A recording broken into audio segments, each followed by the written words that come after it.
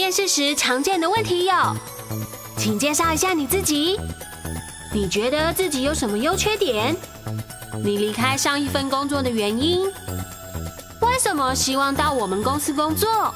对啦，我问太多，根本来不及回答。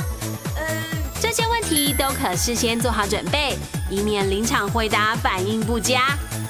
像被问到缺点，建议避重就轻，提出一两个对工作影响不大的缺点，例如过度要求完美等等。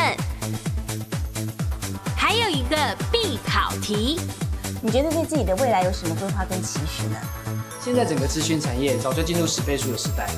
主考官透过求职者的言谈，了解个人职业规划与稳定度，从中观察人格特质，做好准备，轻松应对。